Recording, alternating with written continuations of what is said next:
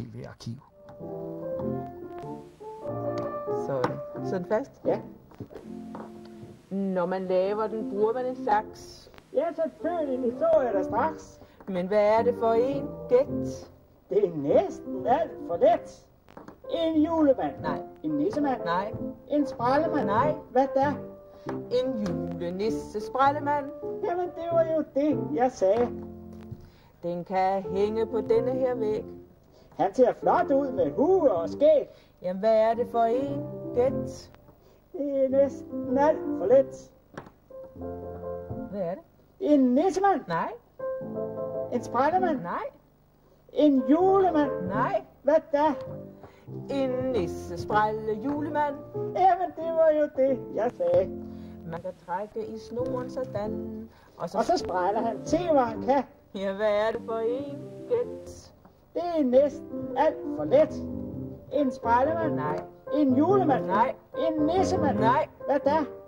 En sprællende julenissemand. Jamen, det var jo det, jeg sagde. Jeg er lige oppe på tavlen. Ja, det er ikke sådan, en nisser taler. Det ved jeg ikke. Jeg har aldrig hørt en nisse tale.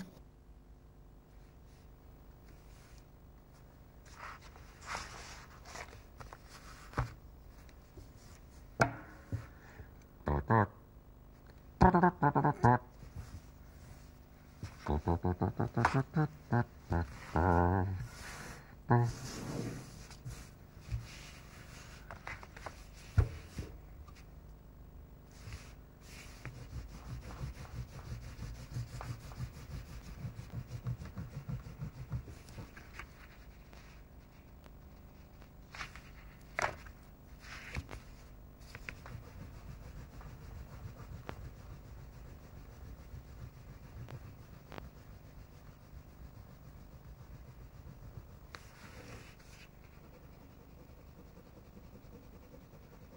pa, pa, pa, pa.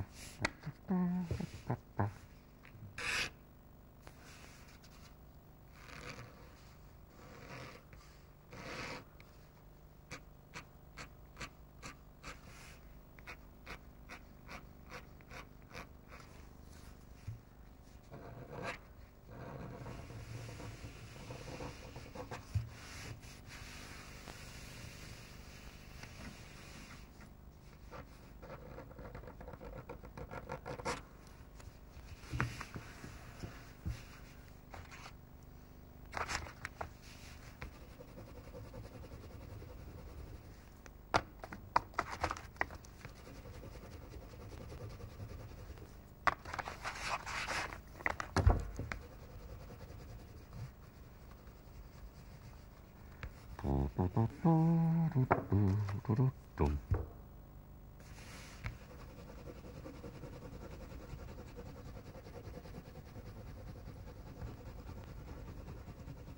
Do do do do do do. Do do do do do do.